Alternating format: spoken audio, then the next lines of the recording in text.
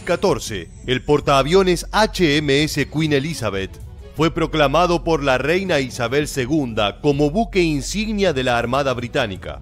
Se trata de un portentoso barco de 280 metros de eslora y 65 mil toneladas de peso que se prepara en vistas de un primer despliegue que llegaría en 2021.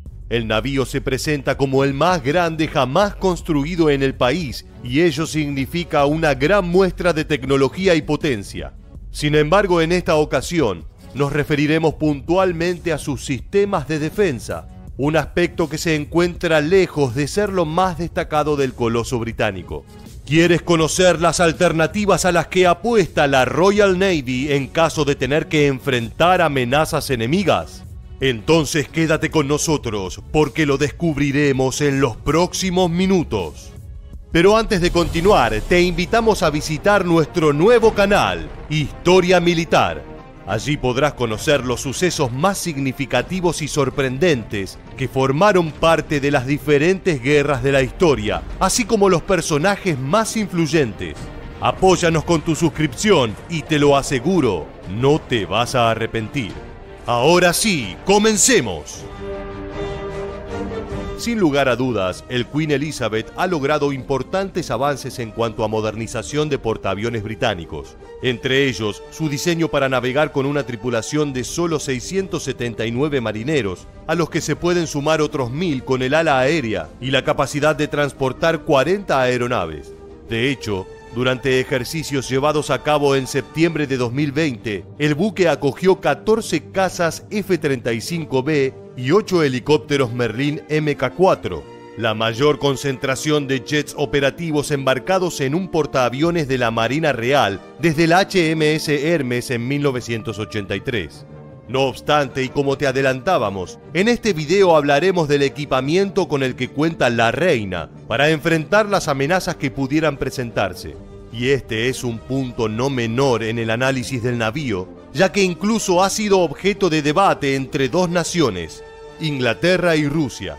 El duelo se desató luego de que el secretario de Defensa británico, Michael Fallon, anunció que los rusos mirarán con envidia y admiración la belleza del buque más grande de la Royal Navy, asegurando que el crucero pesado almirante Kuznetsov no se atrevería a acercarse.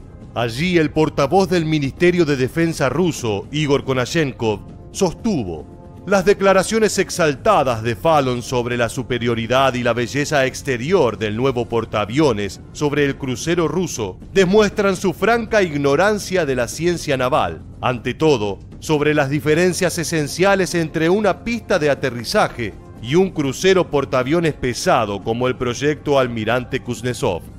Y es que tal como lo señaló Konashenkov, esas esenciales diferencias apuntan a que mientras el Queen Elizabeth presenta una ala embarcada mayor y más completa, el buque ruso se encuentra equipado con un potente armamento.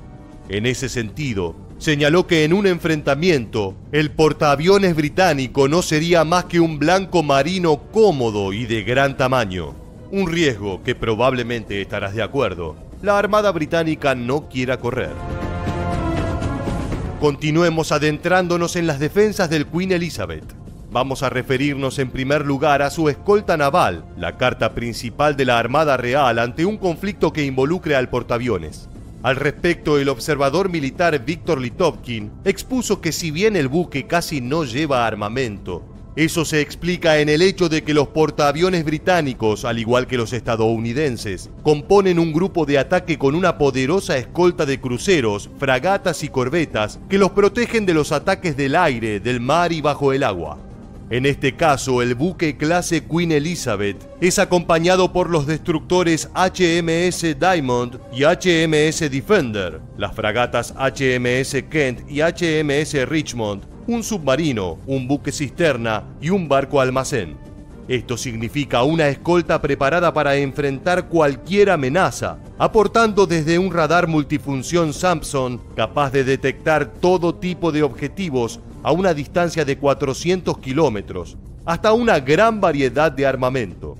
En ese sentido, los acompañantes están provistos con misiles antiaéreos Sea-Ceptor de corto alcance y misiles Aster 15 y Aster 30 de medio y largo alcance. También cuentan con misiles antibuque Harpoon y torpedos antisubmarinos Stingray. Asimismo, suman sistemas para guerra electrónica como Watt-Mod 2.0 y ANSS Q130 y sistemas de señuelos como el Signat y el IDS 300. Pero ahora llegó el momento de embarcarnos en el navío insignia para conocer qué es lo que lleva a bordo, cuál es el equipamiento sustancial en caso de que el enemigo ponga en jaque a su escolta y deba valerse por sí mismo. Como primer punto debemos hablar de sus sensores y sistemas de procesamiento, conformado por un radar de largo alcance S1850M, el cual permite acompañar hasta 1000 blancos aéreos a una distancia de 250 millas náuticas, es decir, unos 460 kilómetros. Además, suma un radar de medio alcance tipo 997 Artisan 3D y un sistema electro-óptico EOS de la serie 2500 de Ultra Electronics. Y ahora llegamos al armamento, donde el poderío del Queen Elizabeth se basa en tres tipos de equipamientos. El primero refiere a la implementación de tres Phalanx se trata de un sistema de armamento de proximidad que ha sido instalado en numerosos barcos desde la década de los 80. Su principal cometido refiere a la defensa frente a misiles antibuque y helicópteros, los cuales puede derribar con un alcance máximo de 5.500 metros. El sistema está compuesto por un cañón modelo M61A1 tipo Gatling de 6 tubos y 20 milímetros de calibre. Asimismo dispone de un sistema automático de recarga, dos radares en banda Q para la búsqueda de objetivos y un puesto de operador remoto capaz de funcionar en modo automático. Pero en cuanto a su punto débil, debemos señalar que presenta dificultades ante misiles supersónicos debido a la velocidad que estos llevan y cómo afecta al corto alcance eficaz del arma. Luego encontramos cuatro cañones DS-30M Mark II de 30 milímetros, un sistema fabricado por MSI Defense Systems que consta de un cañón Mark 44 Bushmaster II en un soporte automático. Este fue diseñado para defender a los navíos británicos de las rápidas naves de ataque costeras, armadas con misiles de corto alcance, cohetes, granadas, ametralladoras pesadas y explosivos. Por último, la reina suma varias ametralladoras para contrarrestar amenazas asimétricas. Entre ellas se encuentran la FN Mac belga y la M134 Minigun, una ametralladora rotativa de 6 cañones con una alta velocidad que puede realizar hasta 6.000 disparos por minuto. Acercándonos al final y luego de haber conocido las actuales capacidades del portaaviones británico para hacer frente a un conflicto, surge un nuevo interrogante. ¿Por qué la Armada no ha provisto al Queen Elizabeth con misiles de defensa propios? La respuesta apunta a que ante la posibilidad de incorporar un sistema como el Sea Scepter, la Royal Navy ha valorado otras prioridades para sus recursos. Por ejemplo, maximizar la cubierta de vuelo y el espacio de hangar disponible para aviones, por lo que no hay espacio interno destinado a silos de misiles. Sin embargo, más allá de que sería una costosa inversión y a largo plazo, no se descarta que pueda convertirse en una realidad. Ahora sí, llegó la hora de que te vuelvas parte de este análisis y nos des tu opinión. En vistas de los escenarios bélicos actuales, ¿crees que el sistema de defensas del Queen Elizabeth se encuentra a la altura de los portaaviones de Estados Unidos o China?